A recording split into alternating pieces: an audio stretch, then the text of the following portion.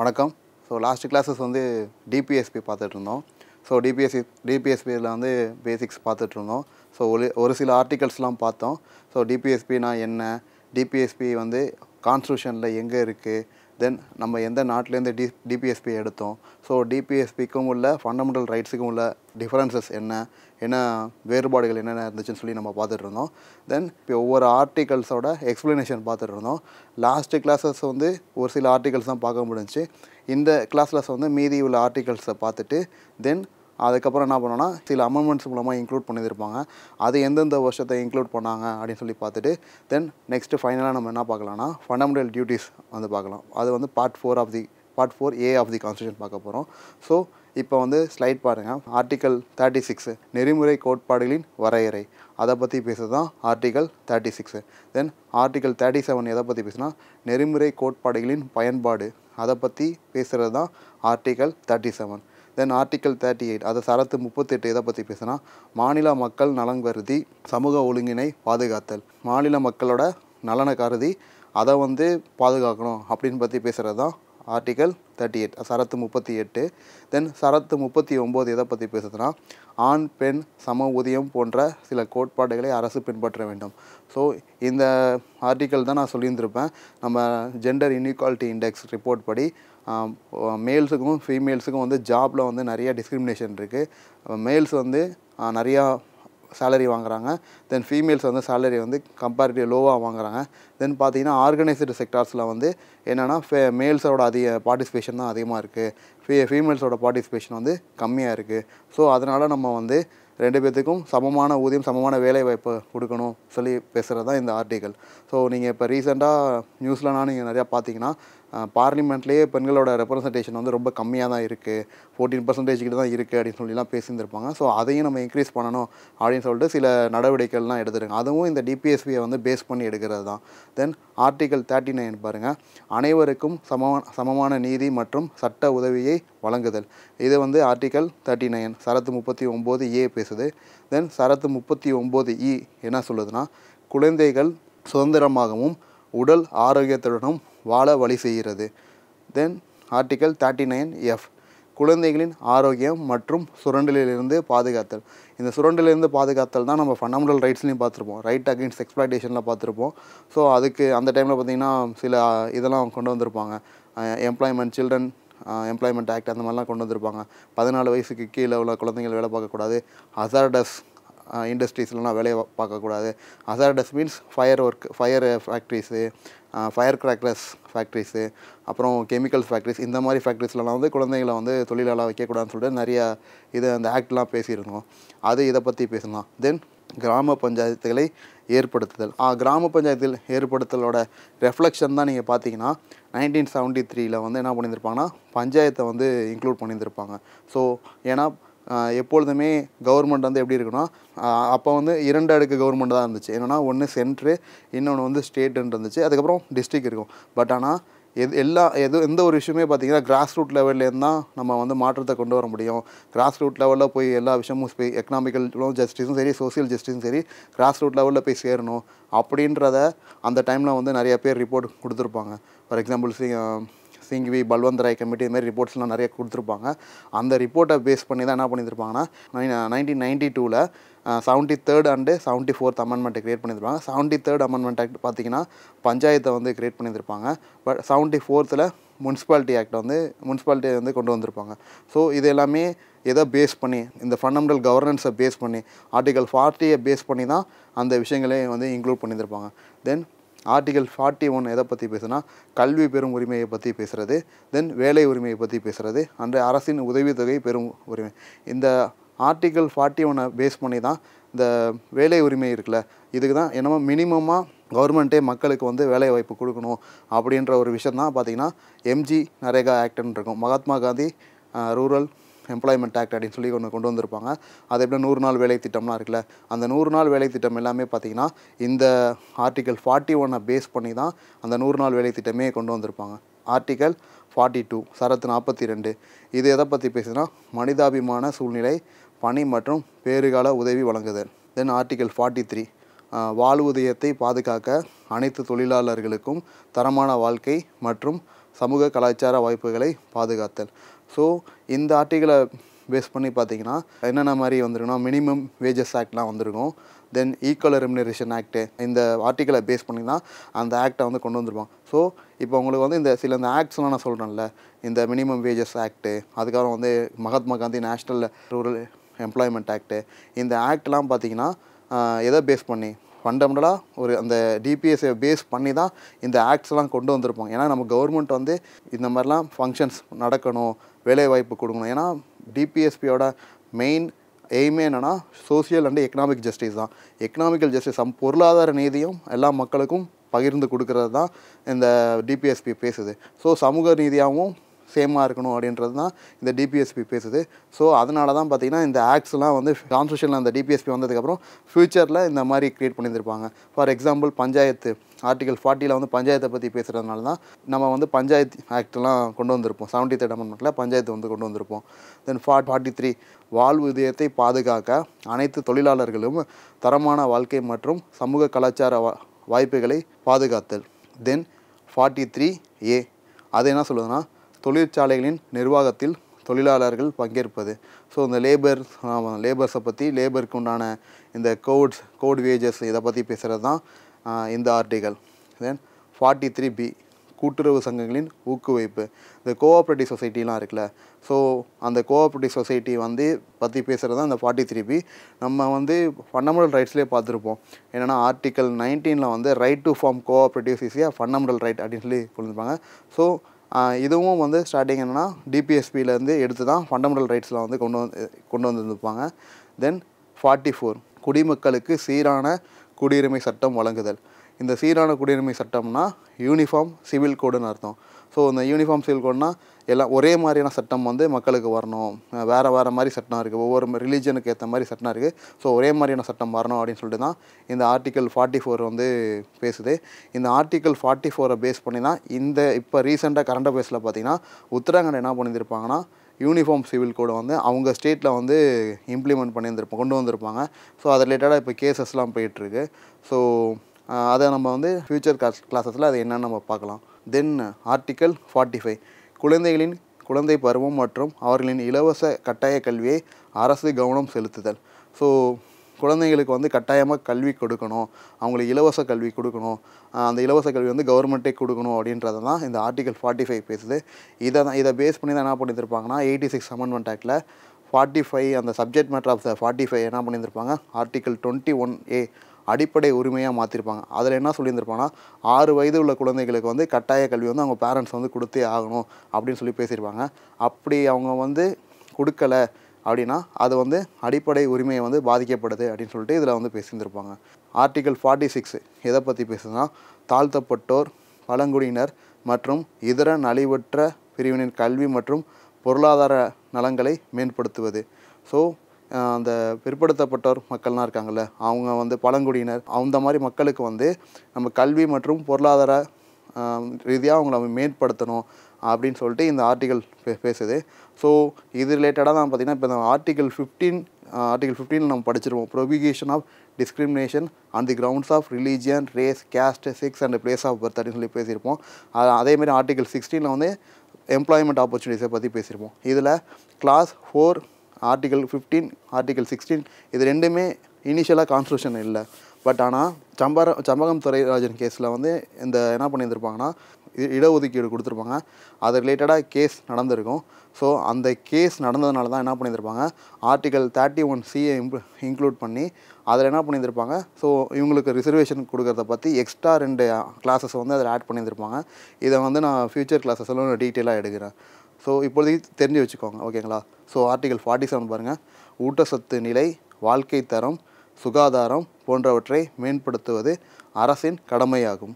Then article forty eight A இந்த forty eight A என்ன பேசுதுன்னா சுற்றுச்சூழல் மேம்பாடு காடுகள் மற்றும் வன பாதுகாப்பு. ஸோ இது வந்து எதை பற்றி பேசணும்னா இது வந்து லிப்ரல் அண்ட் இன்டலெக்சுவல் கீழே வரும். இப்போ வந்து நம்ம நைன்டீன் செவன்ட்டி டூவில் வந்து வேர்ல்டு லெவலில் என்ன பேசணுமோ அந்த வைல்ட் லைஃப் ப்ரொடக்ஷனை பற்றி நிறையா பேசிகிட்டே இருப்பாங்க. வைல்ட் லைஃப்பை வந்து பாத வனவிலங்குகளை வந்து பாதுகாக்கணும் அப்படின்னு சொல்லிட்டு.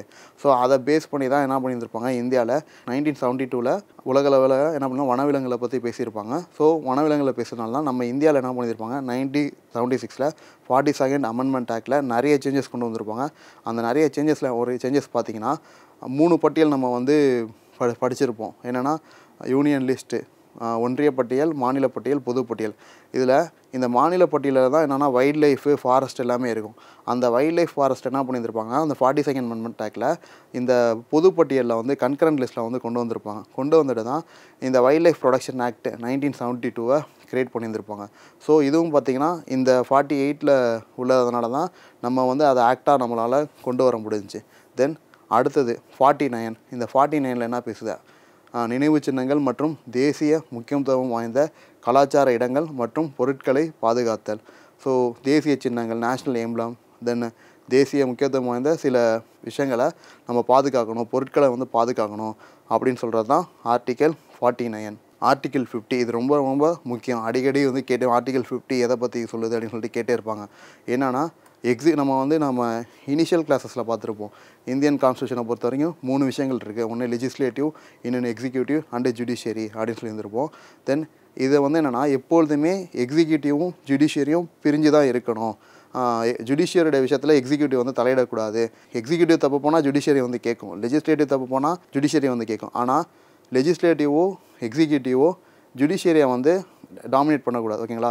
அப்படி டாமினேட் பண்ணால் என்னன்னா ஆட்டோமேட்டிக்காக நான் நீதி சரியாக போய் சேராது. அதனால் எப்பொழுதுமே ஜுடிஷியரையும் எக்ஸிக்யூட்டிவையும் பிரித்து வைக்கிறத பற்றி தான் இந்த ஆர்டிகல் ஃபிஃப்டி பேசும். இதுக்கு ரீசெண்டாக நீங்கள் ஒரு கரண்ட் அஃபேர்ஸ் என்னன்னு பார்த்தீங்கன்னா டூ தௌசண்ட் ஃபோர்டீனில் என்ன பண்ணுறாங்கன்னா நேஷ்னல் ஜுடிஷியல் அப்பாயின்மெண்ட் கமிஷன் அப்படின்னு சொல்லிட்டு ஒரு சட்டத்தை வந்து கொண்டு வராங்க. எப்போனா தொண்ணூற்றி ஒன்பதாவது சட்டத்தை நைன்டி நைன்த் அமெண்ட்மெண்ட் ஆக்டில் நேஷ்னல் ஜுடிஷியல் அப்பாயின்மெண்ட் கமிஷன் அப்படின்னு சொல்லி கொண்டு வராங்க. அந்த ஆக்டில் என்ன சொல்ல வராங்கன்னா supreme court judges high court judges chief justice of India அவங்களாம் இருக்காங்களா? Chief justice of high court இவங்களாம் அப்பாயின்மெண்ட் பண்ணுறாங்களே இந்த அப்பாயின்மெண்ட் பண்ணுறதுல ஜட்ஜஸும் இருப்பாங்க எக்ஸிக்யூட்டிவ்ஸும் அந்த அப்பாயின்மெண்ட்டில் இருப்பாங்க அப்படின்னு சொல்லிட்டு ஒரு சில இதெல்லாம் ப்ரொவிஷன்ஸ்லாம் கொண்டு வந்திருப்பாங்க. ஸோ அந்த ப்ரொவிஷன்ஸ் இருக்க அந்த ப்ரொவிஷன் என்ன பண்ணியிருப்பாங்கன்னா சுப்ரீம் கோர்ட் என்ன பண்ணியிருப்பாங்கன்னா அந்த ஆக்டையே வந்து வாய்ட் பண்ணியிருப்பாங்க. ஏன்னா இப்போ அதில் என்ன சொல்லியிருந்திருப்பாங்கன்னா எப்பொழுதும் ஜுடிஷியரின்றது எக்ஸிக்யூட்டிவ்ஸ் மேலே தான் ஸோ ஜுடிஷியரியை எக்ஸிக்யூட்டிவ் கண்ட்ரோல் பண்ண முடியாது. ஆனால் எக்ஸிக்யூட்டிவ்ஸை வந்து ஜுடிஷியரி கண்ட்ரோல் பண்ணோம். ஸோ வந்து ஜுடிஷியரி தான் எப்பொழுதும் மேலே. இப்போ எக்ஸிக்யூட்டிவ்ஸ் எப்படின்னா ஜுடிஷியரி வந்து எப்பொழுதும் மேலேன்றக்கப்ப தான் ஸோ நீங்கள் வந்து அப்பாயின்மெண்ட்ஸில் வந்து உங்களுக்கு வந்து எந்த ஒரு இதுவும் கிடையாது. ஸோ அப்பாயின்மெண்ட்டை நாங்களே பார்த்துக்கிறோம் அப்படின்னு சொல்லிட்டு அவங்க வந்து என்ன பண்ணியிருப்பாங்கன்னா அந்த ஆக்டையே வந்து கேன்சல் பண்ணியிருந்திருப்பாங்க. ஸோ அதுதான் இந்த ஆர்டிக்கலோட ஒரு சின்ன ஒரு எக்ஸாம்பிள் ரியல் லைஃப் எக்ஸாம்பிள் இப்போ. ஸோ நிர்வாகத்திலிருந்து நீதித்துறையை பிரித்தல். ஆர்டிகிள் ஃபிஃப்டி ஒன் இதில் என்ன பேசுனா சர்வதேச அமைதி மற்றும் பாதுகாப்பினை மேம்படுத்தல். International peace and security and அந்த பாதுகாப்பை வந்து நிறையா இன்க்ரீஸ் பண்ணணும்.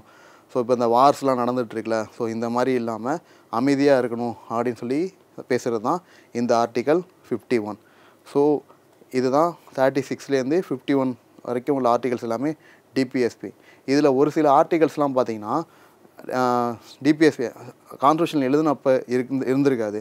பின்னால் அந்த ஆர்டிகல் சேர்த்துருப்பாங்க. ஃபார் எக்ஸாம்பிள் ஒரு சில ஆர்டிகல்லாம் வந்து ஃபார்ட்டி செகண்டில் இன்க்ளூட் பண்ணியிருந்திருப்பாங்க. நைன்டி செவன்த் அமெண்ட்மெண்ட் ஆக்டில் இன்க்ளூட் பண்ணியிருந்திருப்பாங்க. ஃபார்ட்டி ஃபோர்த் அமெண்ட்மெண்ட் ஆக்டில் இன்க்ளூட் பண்ணியிருப்பாங்க ஸோ அது என்ன மாதிரி அமெண்ட்மெண்ட்டு இந்த மாதிரி அமெண்ட்மெண்ட்டில் என்னென்ன ஆர்டிகல்ஸ் இன்க்ளூட் பண்ணியிருக்காங்கன்றத நம்ம என்ன பண்ணோன்னா இந்த நெக்ஸ்ட் ஸ்லைடில் பார்ப்போம்.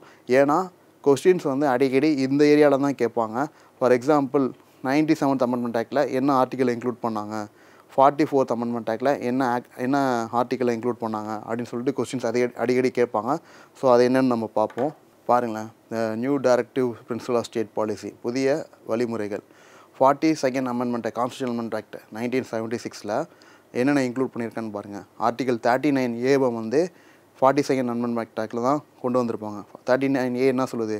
To provide free legal aid to the poor legal எய்டை வந்து ஃப்ரீ லீகல் எய்டை வந்து ஏழை மக்களுக்கு வந்து கொடுக்கணும் அப்படின்னு சொல்லி இந்த ஆர்டிக்கல் பேசுது. இதோட எக்ஸாம்பிள் தான் பார்த்தீங்கன்னா என்ன ஆக்ட் கிரியேட் பண்ணியிருப்பாங்கன்னா நால்சா ஆக்ட் வந்து கிரியேட் பண்ணியிருப்பாங்க forty three A forty three A எதை பற்றி பேசுதுன்னா participation of workers in the management of industry தொழிற்சாலைகளின் நிர்வாகத்தில் தொழிலாளர்களின் பங்கேற்பு. அதை பற்றி பேசுகிறது தான் forty three A forty eight A இந்த ஃபார்ட்டி எயிட் எயிட் என்னென்னா to protect and improve the natural and environment சுற்றுச்சூழலை வந்து பாதுகாத்தல் மற்றும் மேம்படுத்தல். நான் சொன்னேன்ல இப்போ நைன்டீன் செவன்ட்டி டூவில் என்ன பண்ணியிருப்பாங்கன்னா இந்த எஜெண்டா அஜெண்டா டுவெண்ட்டி ஒன் இந்த மாதிரி சில விஷயங்கள்லாம் நடந்திருக்கும். ஸோ நைன்டீன் செவன்ட்டி டூவில் ஸோ அதில் வந்து இந்தியா வந்து சிக்னேட்ரியாக இருக்கப்ப ஸோ நம்மளும் வந்து இங்கே டொமஸ்டிக்காக நம்ம வந்து லாஸை வந்து க்ரியேட் பண்ணிடணும் அப்படின்னு சொல்லி பேசியிருந்திருப்பாங்க. ஸோ அதனால தான் நைன்டீன் செவன்ட்டி சிக்ஸில் என்ன பண்ணியிருந்திருப்பாங்கன்னா ஒரு சில ஆர்டிகல்ஸ் வந்து இன்க்ளூட் பண்ணியிருந்திருப்பாங்க. தென் சேஞ்சஸ் நிறைய கொண்டு வந்திருப்பாங்க. ச கன்கரண்ட் ஸ்டேட் லிஸ்ட்டில் சில இருந்த விஷயங்கள் எல்லாத்தையும் கன்கரண்ட் லிஸ்ட்டில் மாற்றிருப்பாங்க ஸோ மாற்றிட்டு இங்கே இந்தியாவில் என்ன கொண்டு வந்திருப்பாங்கன்னா wild life protection act nineteen seventy two கொண்டு வந்திருப்பாங்க. இப்போ ரீசெண்டாக நைன்டீன் செவன்ட்டி டூ ஆக்டை வந்து அமெண்ட்மெண்ட் பண்ணி டுவெண்ட்டி டூவில் வந்து ஒரு ஒரு ஆக்டை வந்து க்ரியேட் பண்ணியிருக்காங்க. செக்ஷன் டூவில் ஆர்டிகல் தேர்ட்டி எயிட்டில் என்ன சொல்ல வராங்க பாருங்கள் the state in particular shall strive to minimise economic inequalities in income and eliminate inequalities in status, facilities and opportunities, not amongst individuals but almost amongst groups. என்ன சொல்கிறாங்கன்னா அதில் குறிப்பாக வருமானத்தில் பொருளாதார சமத்துவத்தன்மை குறைக்கவும் தனிநபர்களிடையே மட்டுமல்ல குழுக்களிடையே அந்தஸ்து வசதிகள் மற்றும் வாய்ப்புகளில் உள்ள சமத்துவத்தன்மையை அகற்றவும் அரசு பாடுபட வேண்டும் என்று கூறப்பட்டுள்ளது. ஸோ இதுதான் இந்த ஃபார்ட்டி ஃபோர்த் அமெண்ட்மெண்ட் ஆக்டில் சொல்லியிருக்கிறது. தென் அடுத்தது பார்த்தீங்கன்னா eighty six amendment act two thousand to change the subject matter of article forty five and made elementary education is fundamental right under article twenty one A பிரிவு நாற்பத்தைந்தின் பொருளை மாற்றி பிரிவு இருபத்தி ஒன்று ஏ ஏயின் கீழ் தொடக்க கல்வியை ஒரு அடிப்படை உரிமையாக மாற்றியது. இந்த அமெண்ட்மெண்ட்டில் தான் இந்த சேஞ்சஸ் கொண்டு வந்திருப்பாங்க. அது போக நைன்டி செவன்த் அமெண்ட்மெண்ட் ஆக்ட் இருக்கும். நைன்டி செவன்த் அமெண்ட்மெண்ட் ஆக்ட்லாம் என்ன பண்ணிருப்பாங்கன்னா ஆர்டிகல் ஃபார்ட்டி த்ரீ பிஏ வந்து இன்க்ளூட் பண்ணிப்பாங்க. இந்த கோஆப்ரேட்டிவ் சொசைட்டிஸ்லாம் நான் சொன்னேன்ல. ஸோ இந்த கோஆப்ரேட்டிவ்ன்ற விஷயம் வந்து ninety seven ninety seventh amendment ஆக்டில் தான் இன்க்ளூட் பண்ணியிருப்பாங்க அதுக்கு முன்னாடி அந்த ஃபண்டமெண்டல் ரைட்ஸில் தான் வந்து ரைட் டு கோஆப்ரேட்டிவ் ஈஸியாக ஃபண்டமெண்டல் ரைட் அப்படின்னு இருக்கும். ஆர்டிகல் நைன்டீனில் அதை பற்றி பேசியிருந்திருப்பாங்க. பட் ஆனால் நைன்டி செவன்த் அமெண்ட்மெண்ட் ஆக்டில் தான் டிபிஎஸ்பியில் கோஆப்ரேட்டிவ்ஸ்னு ஒரு விஷயத்தை கொண்டு வந்திருப்பாங்க. இப்போ ரீசெண்டாக பார்த்தீங்கன்னா இது ஏன் இம்பார்ட்டன்னா ரீசெண்டாக பார்த்தீங்கன்னா மல்டி ஸ்டேட் கோஆப்ரேஷன் ஆக்ட் அப்படின்னு சொல்லிட்டு ஒரு ஆக்ட் கொண்டு வந்திருப்பாங்க. அதில் அந்த கோஆப்ரேட்டிவ்ஸில் நிறைய சேஞ்சஸ்லாம் கொண்டு வந்திருப்பாங்க. அதுதான் இந்த டிபிஎஸ்பியில் வந்து பேசுகிறாங்க இதுதான் பார்த்தீங்கன்னா ஒரு சில டிபிஎஸ்பிலாம் இனிஷியலாக கான்ஸ்டியூஷனில் இருந்திருக்காது. பட் ஆனால் இது லேட்டராக வந்து இன்க்ளூட் பண்ணியிருப்பாங்க அது எந்தெந்த அமெண்ட்மெண்ட் பார்க்க நல்லா பார்த்துக்கோங்க.